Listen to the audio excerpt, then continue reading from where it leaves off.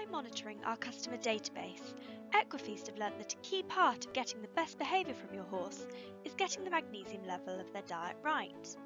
This video covers the downsides of not only too little magnesium, but also too much.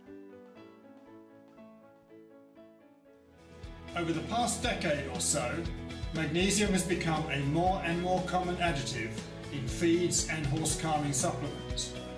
Reading the promotional material in horse magazines, you would be forgiven for believing that magnesium cannot sedate and that any excess in the diet is simply excreted. Our research, the scientific literature, our own testing of horses, and our detailed assessment of the customer feedback on thousands of horses suggests that this is wrong. And we find that when we help people to optimize magnesium levels in their horses' diets, and they use V-calculated calcium supplements, we can achieve enormous behavioural and performance success rates in about 90% of difficult horses. It is important to note that magnesium is not bad. In fact, insufficient magnesium leads to poor animal function and poor behaviour. As a result, we sell supplements that contain magnesium to about half of the horses we deal with. But too much magnesium can make matters worse, and in extreme cases can be catastrophic. We're going to start with just such a story, not because it's typical, it isn't, but because it does illustrate what excess magnesium really can do.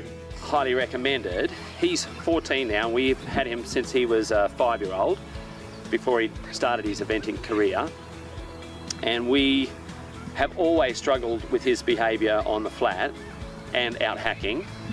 And we developed, with what we knew in the market, a protocol that saw us get better results on the flat, but it, it essentially made um, was made up of applying every form of magnesium to that horse that we could. He had double loading doses of chelated magnesium orally. Uh, we used to spray it over his coat so it observed, absorbed dermally. We would sit him in buckets of magnesium so that it was absorbed through his feet. And essentially, that horse would go into the dressage, as he did um, last year at Adelaide Four Star, with it coming out of every pore in his body. The downside of that, and we were kind of taking our wins as we could from it, in that he was terribly rideable, but it was a bit more like riding a drug addict uh, or, a, or a drunk.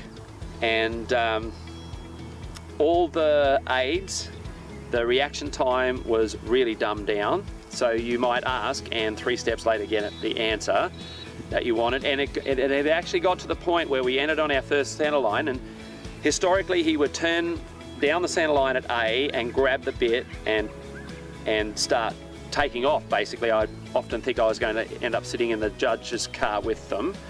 But um, he actually entered at A and just was beautiful. And normally I'd ride a little half halt um, in preparation for my transition, and I rode the first half halt, and he gave me a transition, two markers too early. So, and it just was flat. And the whole test lacked that exuberance that you really want. And I really struggled because the horse that I was riding was not the horse that I train. So even though we had a much better temperament for the test at a very high level in a very big atmosphere, it was very difficult for me as the rider because the horse I was riding was not the horse I trained. The other interesting thing that we found at, um, at Adelaide that year was that, um, and of course I'd always heard from the show jumpers, without mentioning any brand names, we used a particularly expensive um, form of chelated magnesium. And a lot of the show jumpers at high levels that I talked to said they stopped using it because it took the jump out of their horse. And at Adelaide last year, there was a bounce into the first water. And after the dressage, we thought we're just going to go out and school some little bouncers and just get him a little bit sharper um, in preparation for the cross country the next day. And he was once again, like sitting on a drunken sailor, he was really quite flat and not at all sharp in his reactions. And he really struggled even to jump a 90 centimeter bounce.